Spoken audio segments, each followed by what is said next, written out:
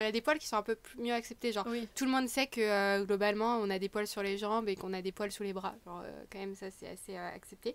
Mais par exemple, typiquement, comme tu le dis, euh, les poils sur la moustache, euh, les poils sur les bras, les poils euh, Sur le ventre, sur le ventre. ouais. Il y sur a le des, il y a ventre, des ouais. femmes qui ont beaucoup de poils sur le ventre, les poils autour des tétons, sur les seins, Mhm, etc. mhm. Bah, on en parle beaucoup moins parce que aussi, il y a, y a plein de femmes qui en ont pas.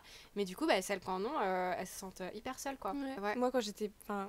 Je sais pas, je devais être au collège. Et du coup, bah, tu sais, la, la petite ligne de poils là. Ouais. Quand j'y repense, mais il n'y avait rien du tout. Et euh, à cette époque-là, je faisais les jambes à la hum, crème dépilatoire. Mm.